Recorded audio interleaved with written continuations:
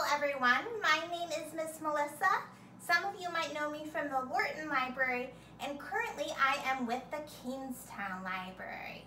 Some of you might enjoy drinking lemonade. Maybe you like the traditional fresh squeezed lemonade or maybe you even like pink lemonade. There's lots of different kinds to drink. But today we're gonna learn to make a new kind, rainbow layered lemonade. And as we make our lemonade, we're going to learn about ratios and density. So in order to make our rainbow lemonade, there's a few different kinds of materials we're gonna need. We'll need some water, some sugar, a measuring teaspoon, um, a couple spoons to stir, some food coloring, some lemon juice, the kind that comes in a bottle works well, or you could do fresh squeezed if you want. We just want to use like actual lemon juice and not some kind that has sugar in it or it'll be too sweet. You could also use lime juice.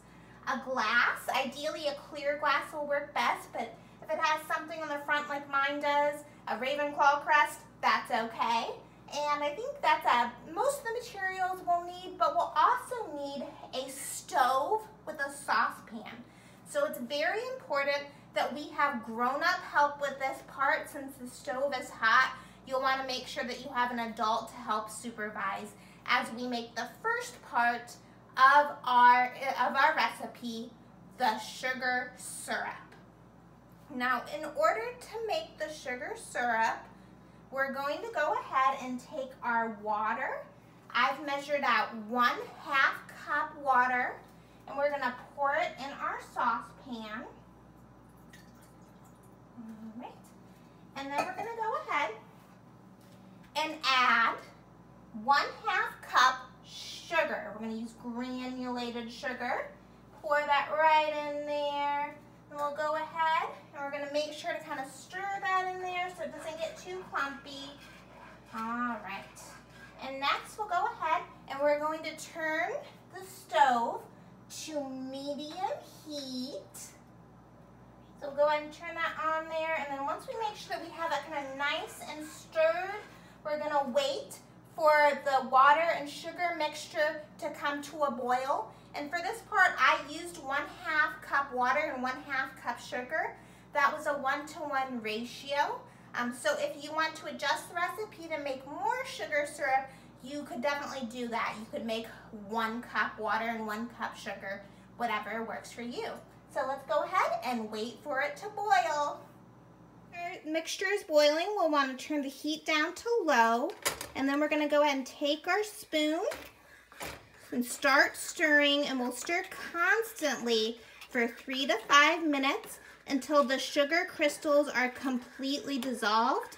And the way that you can tell that they're completely dissolved is that if you lift up the spoon like this, you would not see any sugar in there. So it'll take a few minutes for them, for them to dissolve. And then once that happens, we'll go ahead and take our pan off the heat and let the sugar syrup cool completely before moving on to the next step. Now that our sugar syrup is nice and cool, we're ready to start mixing our lemonade. Now I went ahead and put the syrup right here in this bowl. We have some lemon juice and also a glass full of ice cubes. The ice cubes are really important because while we pour our mixture together, it kind of helps slow down the liquid. So I went ahead and filled up my glass all the way with ice cubes. All right, so we're ready for our first layer. And for this layer, we're gonna go ahead and take a teaspoon and we're gonna go ahead and mix in eight teaspoons of sugar syrup into our glass here. All right, gonna ahead, two, three, four, five, six, seven, eight. All right, so we have eight teaspoons sugar syrup, and we're also going to do five teaspoons lemon juice. And the reason that this layer is going on the bottom is because it's going to be the most dense layer. And density is a measure of how much of a substance is in a specific volume of liquid. For example, when we did our sugar syrup, um, in the one half cup water. If we had put more sugar in than we did, it would have been a lot more dense. And since this is our most dense layer here, it's the greatest ratio of sugar syrup to lemon juice, it's gonna go on the bottom. So now I have my sugar juice, eight teaspoons of sugar syrup, and five teaspoons of lemon juice in here. And we're gonna go and mix it together. All right, and now we'll go ahead and add one drop of food coloring. Go ahead and do whatever drop, whatever color you would like to on this layer. I'm gonna use yellow. a couple drops in there. All right. And the food coloring really just kind of makes it easier to see, make it all put together.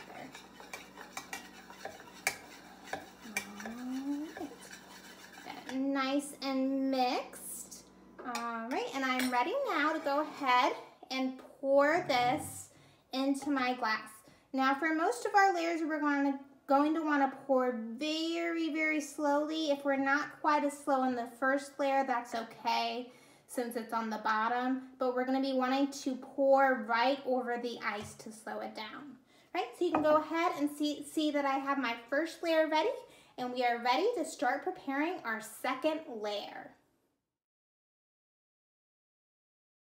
So our second layer is going to be made up of three teaspoons sugar syrup and two teaspoons lemon juice. So you can see I went ahead and mixed together our three teaspoons sugar syrup and two teaspoons lemon juice. And I put in some red food coloring. Whatever color you want to use is fine as long as it's different than our first layer. And we're going to go ahead and very carefully, very slowly start pouring directly onto the ice cube as slowly as you can. Now, if this part doesn't turn out quite right, that's okay. As long as you try your best, it'll still taste good.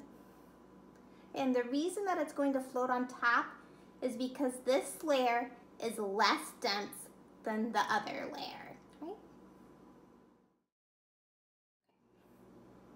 And once you've poured all of your liquid in there, you're ready for layer three.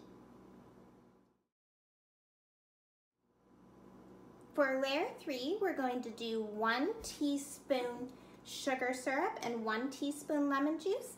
I have mine prepared already and this time I went ahead and decided to add a different color, blue. And I'm gonna do the same thing as before. Very, very slowly, I'm gonna pour it on top of the ice cubes, just directly on the ice cube. And if you're having trouble with this part, you can always add a little more ice. Um, after a while, sometimes the ice starts to melt and that does make it a little bit harder. So you can always add more ice. Um, have a grown-up help you if you're struggling and you can kind of just experiment, um, change the ratios if you need to. Our final layer is a one-to-one -one ratio, but you can kind of experiment trying different amounts of lemon juice and sugar syrup. And if you want, you can eventually even try to add more layers um, maybe next time after you do the one-to-one, -one, you could add another layer of sugar, sugar syrup, just one teaspoon of sugar syrup, and then a final layer of one teaspoon of lemon juice and see how that goes for you. All right, so there's lots you can do. Thank you for joining us, and I hope you enjoy your treat when you're all finished.